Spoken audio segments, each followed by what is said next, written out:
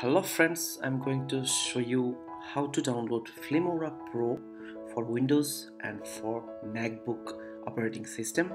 So you go to Google, search Filmora Pro and click on it. Then you will find this surface Filmora Pro. Then, then you will find the two options. One is for MacBook and another for Windows operating system. Then free download and how you can use this Filmora without watermark? This is the question and I will show how you can do it without watermark. So please uh, you have to watch my video until the end then you'll find the system how to do it.